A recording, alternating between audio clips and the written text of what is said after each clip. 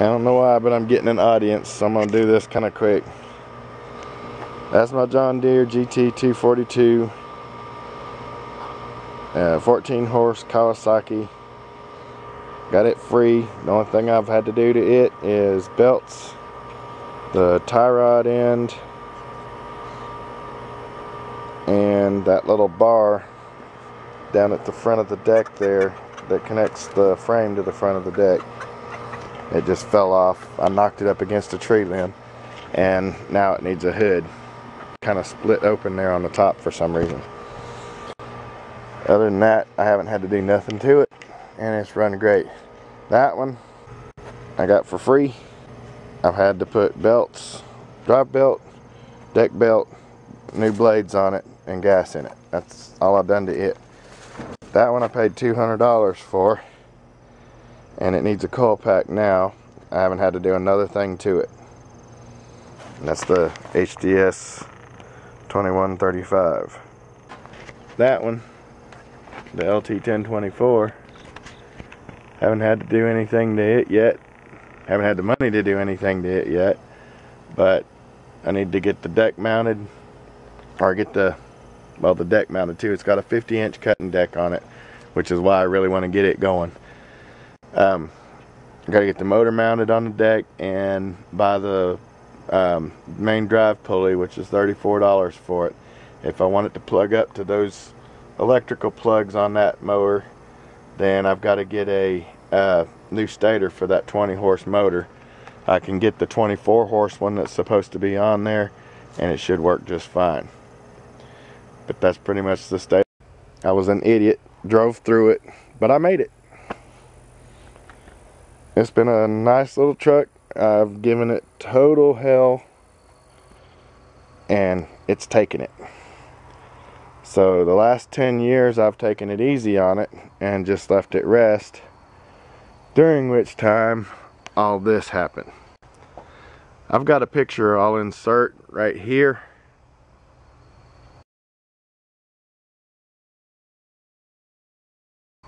Now in that picture, all this is still shiny and waxed up and polished. Shiny polished hood. Look. First thing to go was the clear coat and then the rest of it just pretty well blew off. Just sitting here. Partly because I didn't have it covered. This was just a little spot. Of course, this is just surface rust. I've already sanded it off once but I was stupid, didn't know what I was doing, didn't know to use metal etching primer. Um, I just basically sanded it down, threw naval jelly on it, left it set long enough to finish, um, washed it off, dried it, let it sit, and then threw the primer to it. And it was primer sealer, so I thought I was doing the right thing. Unfortunately, that wasn't the case. And now you see how bad it is the whole way across. And it pretty much needs painted the whole way around now because, again, sitting here, it's just, the paint's just dulling and falling off of it. Even right here, and it, it had perfect paint all down through here. The only thing that was wrong with this side is one little divot right there where I punched it. My girlfriend at the time the one that helped me buy this truck, shut my hand in the door. And rather than smack her, I smacked my truck. Left me a little knuckle ding right there. the only reason I haven't really pushed to get this thing repainted is because of those decals right there. I can find everything else to put this truck back the way it is except those decals. And it should be simple. Just a standard red. It's a different color red than the truck, but it's just a standard red. And this is just a standard silver with four lines through it. Probably about two inch lettering. And it's all italics. Not real bad, just slightly. Might have to talk to old Mr. Bill about that one. This one I can find all over the place. I don't care if you see the tag number. That's that doesn't go back to anything that's legit now anyway. But even my back bumper, if you'll see right there, back bumper's all blown off.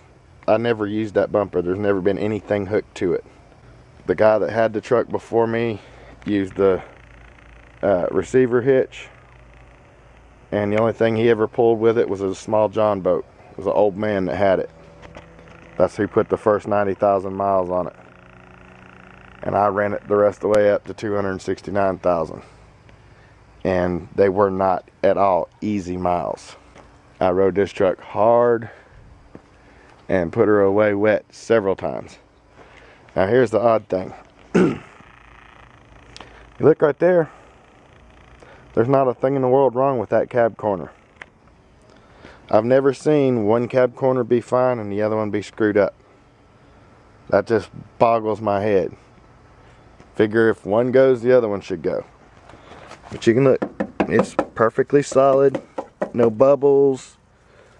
There's a little dent there that I got stupid and I don't know how I did, but probably raising hell in the truck buckled it just right and slammed the bed against the, the cab. Kind of what it looks like. That's the only thing I can figure. But I've taken this truck out in the field out back here and just gave her all kinds of hell. But it's got all new bearings, all new calipers. Uh, does need new upper and lower ball joints on both sides. Transmission is fine. It's had the fluid changed every 14,000 miles. The um, oil's been changed every 3,500 miles with Mobil 1 only since I've had it. That's all this truck's known. I would crank it up, do another goofy cold start, but um,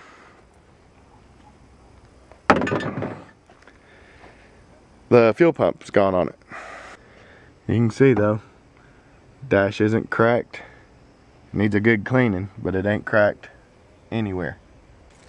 Until this past year, I had 5% tint on the side windows, 5% tint on the back.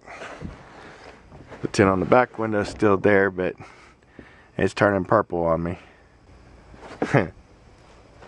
I forgot I put this on here. That needs to be on everybody's pickup truck. Everybody's. I don't know how many times I've gotten myself into trouble just helping people move.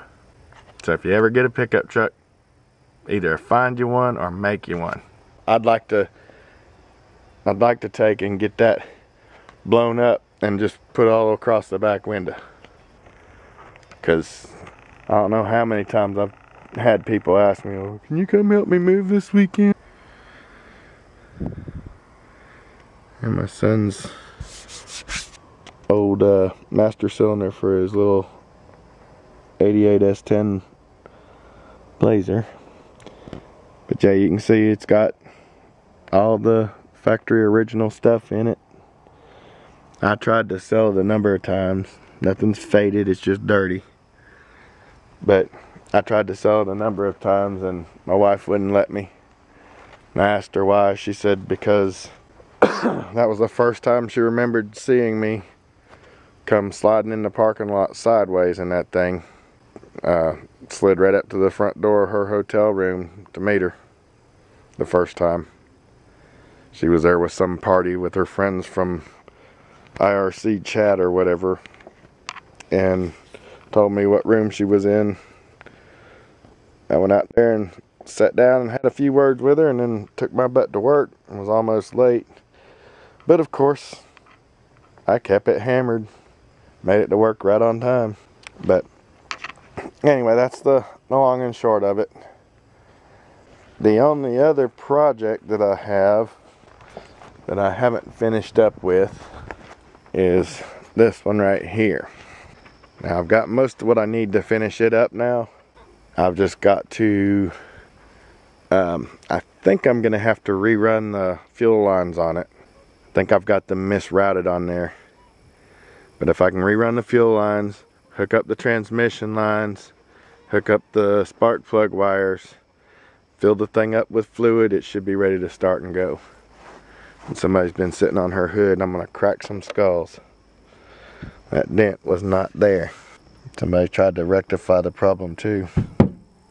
But yeah, hers is all tinted up and everything too. But it's it's ready to go. Just got to button up them last few things and she'll be rolling. Of course, she don't have a license yet. And don't matter if you see that tag either. You'll notice that's a Georgia tag. It's been out of out of date for a while. But we haven't gotten it registered yet because I haven't gotten it running to get it down there and get it uh, emissions tested. So what I'm gonna do, since this one's closer to being done than anything, and us never knowing when we're gonna need a backup vehicle, I'm probably gonna get out here this weekend and try and get this thing buttoned up. My daughter's not gonna like us using it for a backup vehicle, but she don't have a license and no hope of getting insurance, so and she's not driving it out of the yard without insurance on it. But that's the state of the nation. Uh, now, this one is a little bit different uh, stretch, different situation. This actually my dad bought for $2,500 and mom told him no after he bought it. So it stayed out here. It's registered in my name. Those are my tags in the windshield. But this dent needs to be worked out, which if you're careful, you can still get it to come out without having to just totally redo the whole fender because that's not real bad. There is a little bit of a crease right here. I mean, it doesn't got to be perfect. It's a work truck. 1975 Custom Deluxe 30. Got a little spot right there. That was caved in really bad. And I've managed to walk it out that far now it's got a little rot right here and it's through. But that's just a little thin, little thin spot of metal. I can probably put pretty much anything in there and build that back up. Try my hand at doing the body work. But as you'll see, it's hydraulic brakes. It's a um, 350 4 bolt main which was standard for this truck. No special toys, no air conditioner. You got a blower motor that comes on as soon as you turn the truck on because somebody's got it straight wired. Got to get that fixed up. Um, like I said, it's hydraulic clutch, hydraulic brakes, hydraulic bed dump.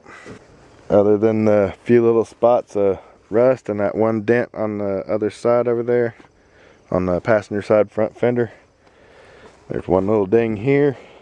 Nothing in the doors, but they could use a good cleanup.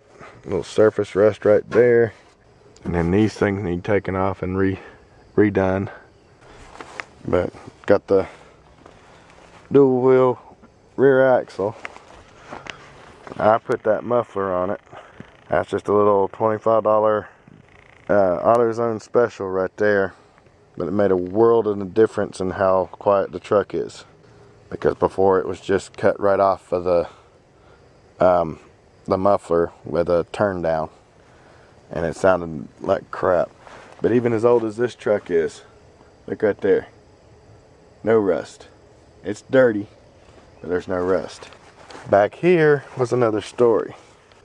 This was completely rusted just from riding it on the wet roads and everything. So my neighbor MacGyver back there the one that you've seen in a few of my videos and seen working on that uh, little white Kia right there which now does have a front end on it. Um, he was generous enough. Of course he used my welder to do it my arc welder. But he bought the metal and he welded that thing on there. Um, the guy that sold it to me broke the bed pins but there was one solid metal bed pin that went across from that side of that black beam that the taillights are attached to to this side. That's the pivot for the dump bed itself. Now when he broke that pin, my neighbor had to get his little MacGyver helmet on and he came up with another workable solution that's just as sturdy. Basically what he did was split the bar in two and put those nuts on with some um, big uh, washers to allow it to swivel and put it all back together. You can see that's it's got some pretty heavy duty springs on it. All that rust that's on the frame is just surface rust. None of it's very deep at all.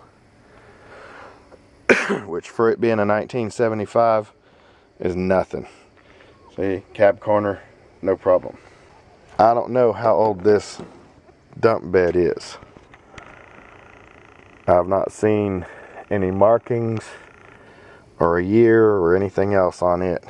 But it came with uh, um, the side bodies for the cattle truck where it's got the open slats in it or this one to use it as a dump truck. Three speed with granny low, dirty windows.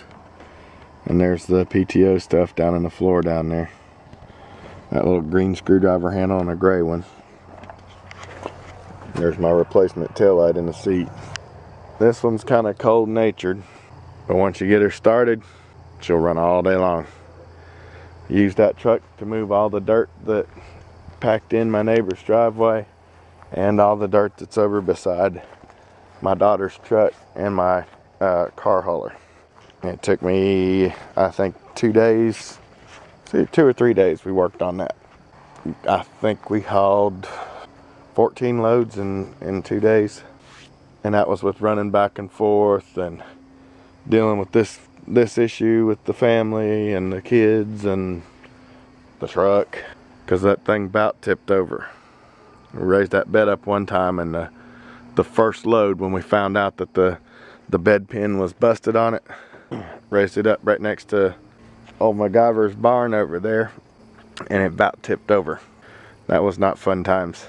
And then to make it worse, I brought it over here to dump one of the loads next to the where the cars park out there and about tipped it over again out here. But I used my noggin. I let the bed down almost all the way and ran the low side, the side that it was leaning on, ran that side of the back tire up on the dirt mound and then I was able to, to raise it up normal and dump the load off finally.